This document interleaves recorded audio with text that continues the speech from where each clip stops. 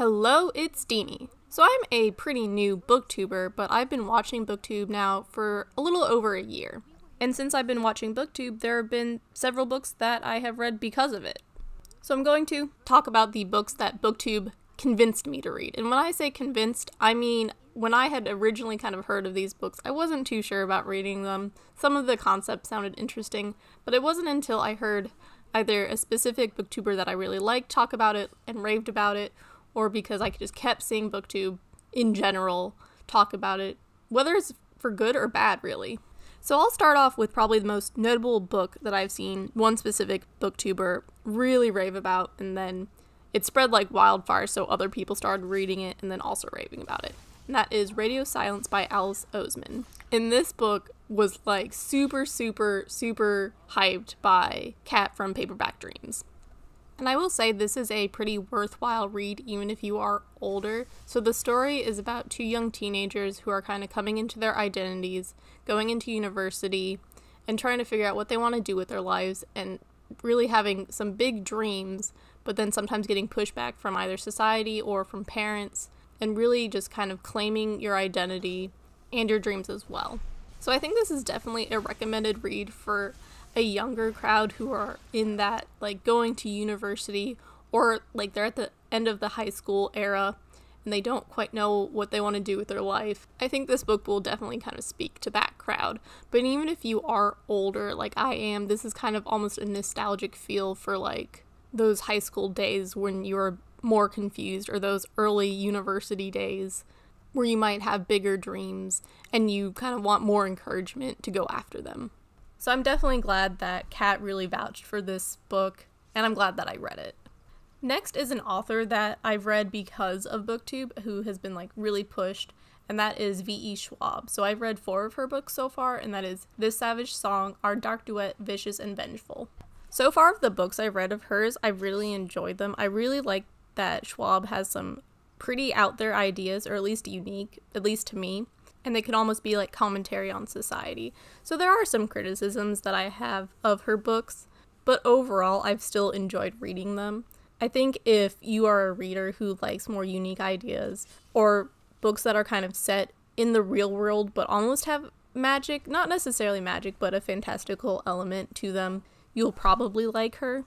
So for V.E. Schwab, since I have liked her works, I'll go ahead and probably read the Darker Shade of Magic series so overall, glad that BookTube has recommended her.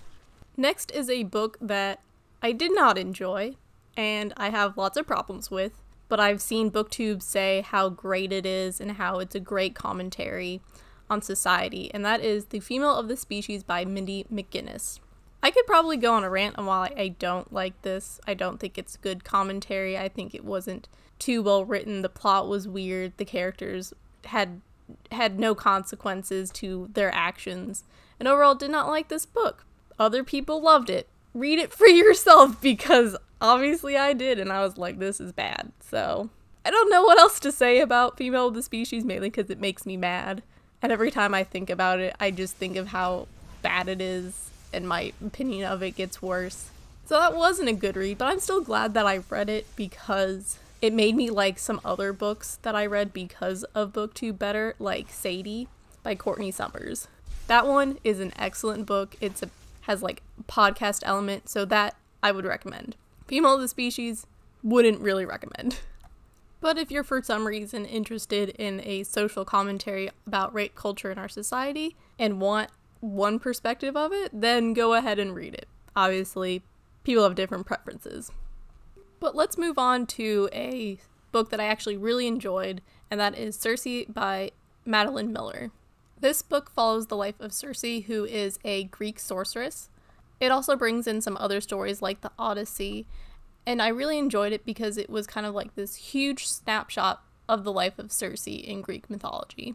And the way I found out about Circe was from Rhiannon from Crescent Moon Reads and they really raved about not only the quality of the writing but the quality of story about Circe's life. So if you're interested in Greek mythology, then I would definitely recommend this read as well, and I very much enjoyed it. So going from Greek mythology to kind of Viking history, the next book I read because of BookTube is Sky in the Deep by Adrienne Young. So this story is about two rival clans who I think it was like every so many years they fought in a battle because the gods told them to. And then it's about the two rival clans coming together to fight against a worse enemy. And if I sound hesitant about describing this book, it's because I was like, there's it, it not much happened in it, at least for me, so I was kind of bored most of the time, and I didn't particularly like any of the characters.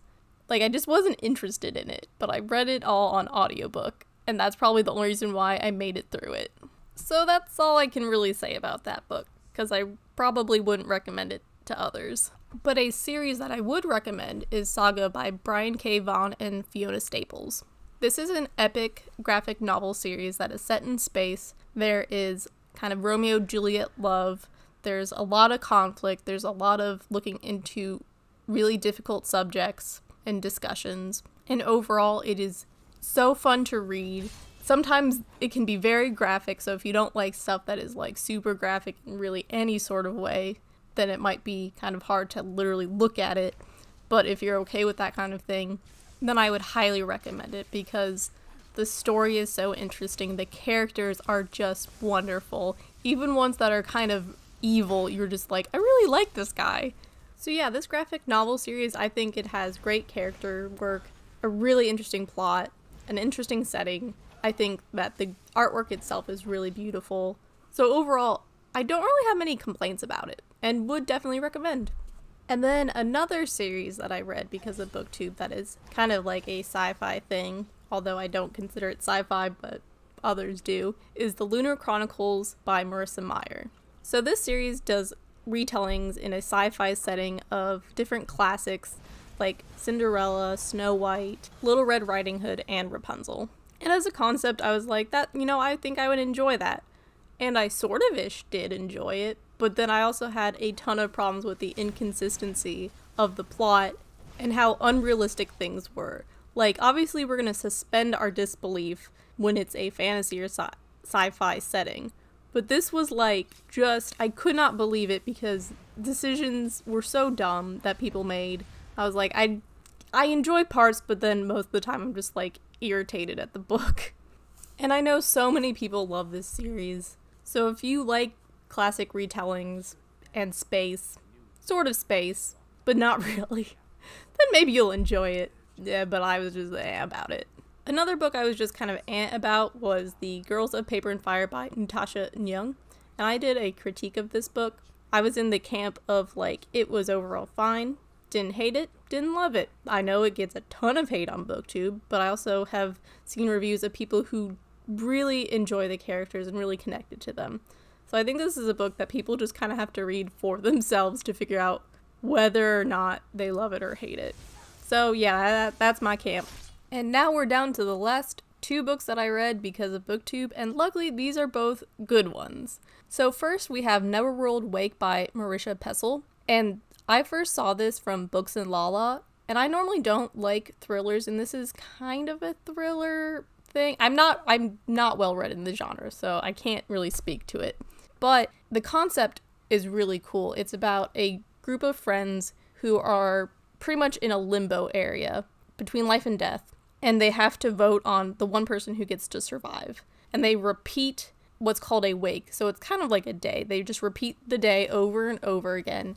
And every day they have to vote. And until they get a consensus on the one person who lives, they just keep on having to repeat their day. So, concept gets an A from me. I really liked the concept. And this book is filled with the most unlikable characters. Like, you will hate every single character because they're horrible people, but it's so fascinating to watch them having to deal with the situation that they're in and how each of them deals with it differently. So, if you are really well read in thriller or whatever this category is, because again, don't really know, you'll probably like this because I normally read fantasy but I really liked this concept and I really enjoyed the writing and the characters.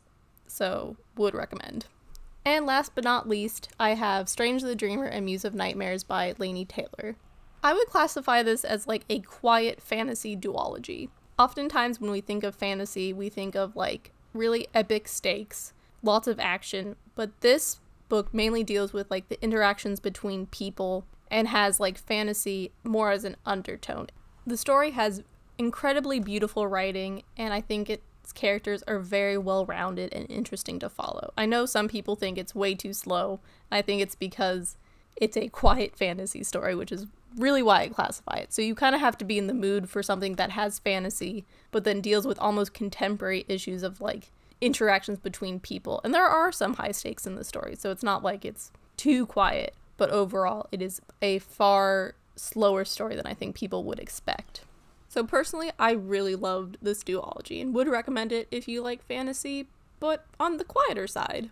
So that's it for my list, and thank you for watching.